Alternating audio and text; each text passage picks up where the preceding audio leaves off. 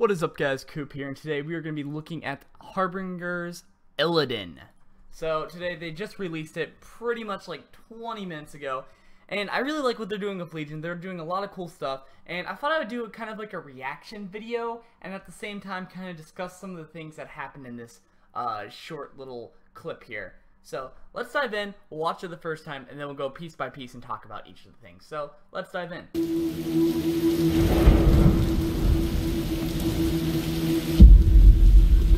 You were not prepared.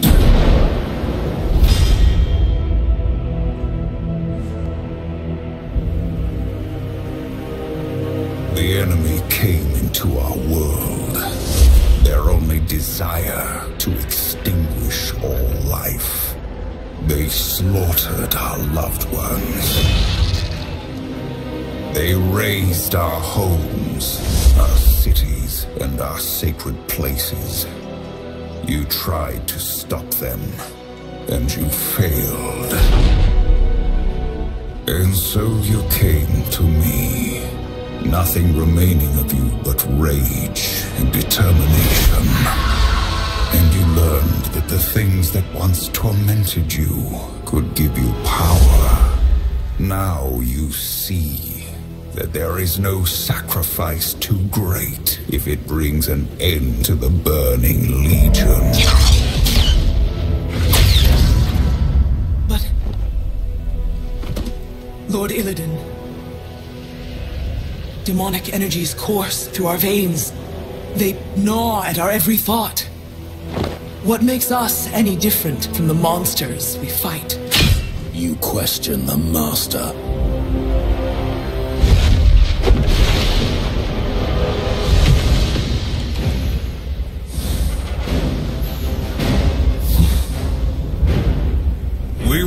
Not sit idly like those on Azeroth, waiting to become the demon's prey. We will take this war to the Legion's worlds and prey upon them!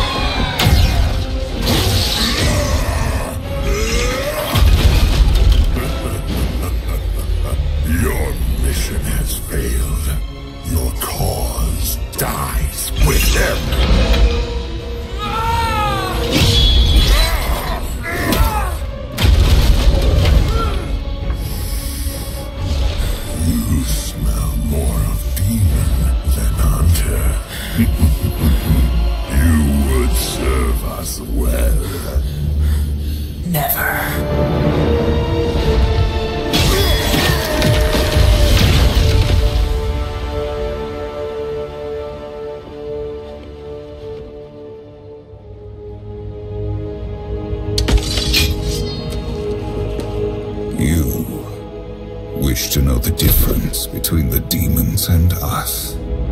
They will stop at nothing to destroy our world.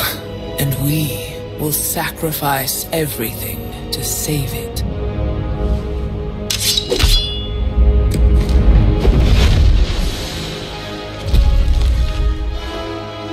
The Legion will know of this victory, and they will fear you, my Illidari.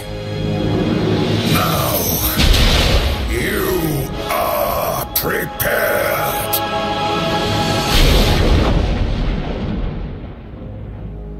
Okay, so we just watched pretty much the Harbingers of Illidan.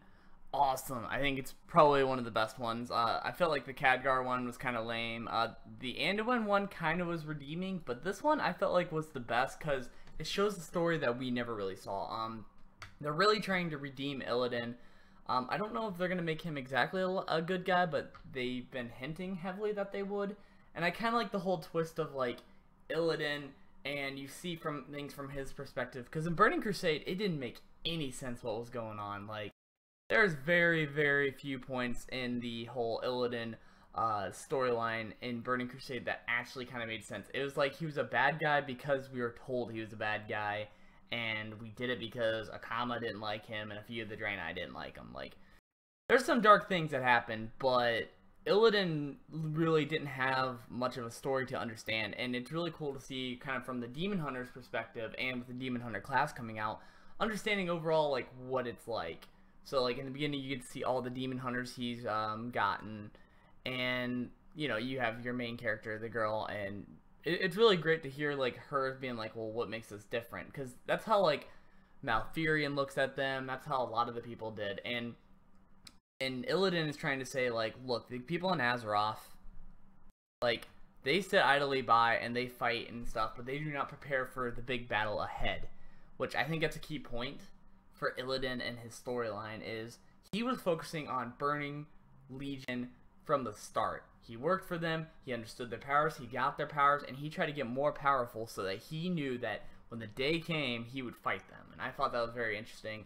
Uh, and he was trying to teach her that lesson throughout it because a lot of the people of the alliance and stuff they look at him and they're like oh these guys are demon worshipping like fighting people and all that illidan was just making his own sort of uh, little like legion if so to speak he was trying to make his own sort of uh, people who are fighting fire with fire that was really cool um, I really like how they gave backstory to like the Legion attacking like during the Well of Eternity, um, and having sort of showing a bunch of night elves being killed, and how much sacrifice they had to make. That was very touching and feeling, and it's great to see that they reflect on that and show the history. And one of my favorite scenes is this right here, where they show them in the process of becoming a demon hunter. They literally like they lose their eyes, they pretty much give up everything just to have the heightened senses and the like fel energy to be put into their bodies, which this kind of shows like a part of the process, doesn't show the full process and we know a few of the details, we don't know all of them, but pretty much you give up your eyesight to get a higher eyesight with the fel energy. Really cool, and yes, you there using the eye beams. And then, of course, you have Illidan uh, speaking to them, and then they'll be like, "Hey, how dare you uh, speak to uh, Illidan that way?" Um, it's really cool because uh, as a demon hunter, when you do your order hall and everything, there's two sides. There's a side that goes with Illidan, and there's a side that kind of goes with their own sort of mentality. Um, there's a side that's like fully de dedicated to Illidan, and then other people who are like, no, that's what he did was crazy, and we need to all work together, and we need to do things a different way. And it really shows like the two different perspectives of the demon hunters. And I like how they showed that sort of mentality in just this short clip. I mean, that short scene kind of reflects how a lot of the demon hunters are. Some of them are like, "Whoa, dude! Like some of the stuff we're doing is like a little far," and then other people are like, "No, like follow Illidan. Illidan knows the way." Really nice to see that, and then obviously coming down like a badass and they go through the portal worlds. Um, one of the biggest things that you'll notice too is demon hunters. A lot of times they were just assault squads. They would send them through a portal. They would go in. They would kill anybody uh, in the site and destroy like pretty much camps and gather any artifacts that can give more power, making them stronger, making them better, and overall better killers. Um, I, my biggest question is, I feel like with them going to these planets, maybe these planets are still considered to be in the twisting nether because uh, demon souls are anchored in the twisting nether. Um, whenever you kill a demon, uh, they so to speak, they don't die. They return back into pretty much space, and they come back alive. That's pretty much how it's always worked. Um, I think specifically they learned it from the Dreadlords, but don't quote me on that, lore-wise. Um, so I feel like maybe with Illidan, what he's doing is he's going through these portals and killing the demons in these worlds because these are the rounds that they came from. These are the rounds that they think that they've been at, and killing them will make them permadead, so to speak. Um, I, am not too sure, but I feel like that's how his mentality is. Because if you kill a demon in the burning nether or um, twisting nether, they don't return. They're they're dead. So I feel like that's what he's doing here. Is he's attacking them in a homeworld and just taking out one of their bases. Now I don't know which pit lord this is. I want to actually.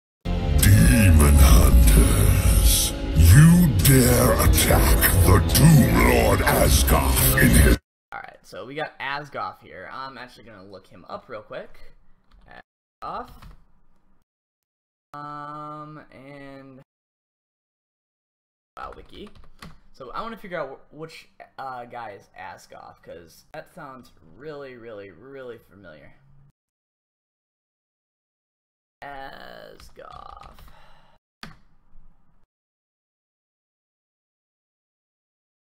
Oh, it looks like he's just a normal uh, pit lord. Doesn't look like it shows anything wise for him. Eh, doesn't show anything for him. That's a shame. I thought he was like an actual named pit lord. Um, maybe he is, but WoWWiki's not showing anything, and usually I kind of go with WoWWiki as like the Bible, but maybe he has been mentioned, but it, it, it's kind of a shame for it just to be a random pit lord. But it was really cool watching them fight, and then uh, having her almost lose faith, and him saying there's more demon than there's hunter in you, and then her saying no, I'll fight you, and of course the typical pit lord death where they explode, and then Illidan saying, you know, you are prepared. Before he was saying you're not prepared, now he's saying you are prepared, which is really nice and comforting. But overall, I really like this story it really shows what Illidan's mentality is. He's saying Azeroth, like, they don't understand. Like, Malfurion was getting mad at him for just, like, what all the stuff he did, and he was trying to help by spreading the Well of Eternity vials. Which I don't know if you guys know that story, but basically Illidan was just trying to add more fountains of power, um, so to speak, for the Night Elves and a lot of the races of Azeroth because he felt like the Legion was the biggest threat and a lot of times he got shut down and shut down and now he's just like you know screw these guys. I'm doing my own army and building my own battles and i'm attacking them from the front while azeroth figures out what they need to do. Which is very comforting knowing exactly how exactly they wanted to kind of battle it out. But overall i'd have to give harbingers of illidan a kind of 8 out of 10 it showed a lot of the story. It showed uh, to an audience that doesn't really know the story of illidan um, sort of the whole story, what his mentality is, what he's thinking. Uh, there's a lot of subtle stuff. Um, I really wish that they used a pit lord or something uh, that was a little bit more redeeming. Uh, I, I, mean, I looked up Asgoth and like nothing popped up, and he doesn't really have like a big name, so to speak. But I, I really liked how they showed the demon hunter and they showed the sacrifice. I wish they focused a little bit more on the sacrifice and less about like, oh, why why are we you know why aren't we considered to be demons for what we, you know, having fel energy? But oh, that's just my opinion. I, I give it an eight out of ten though. It's it's a passing grade. It's great and it, it works. But all right, in the comments below, tell me what you guys think about the Demon Hunters and think about Illidan getting redeemed. I don't know how I fully like it because I felt like that story was just kind of like, yeah, they, they screwed up, but I don't feel like he needs really a redemption story. There's been so many characters getting resurrected and brought back, and I kind of want Illidan's story in Legion to be kind of like not him being a bad guy, but he will help us, and I really want him just to die and have it end and over with. I, I redemption story is not bad, but I do not want characters constantly coming back because then we get to the feeling of like, well, will Varian come back? Will like another person come back? Well, if Sylvanas dies, does she come back? You know, it just it, a lot of times World of Warcraft does that, but overall, I gotta give it an eight out of ten. I really liked it. I really enjoyed it, and I want to know what your guys' opinions are. So in the comments below, tell me what you guys think about Demon Hunters, what you think about Illidan, and be sure to like and subscribe. It really helps me out, and I will be planning to do a lot more videos like this. So thank you guys for watching. See ya.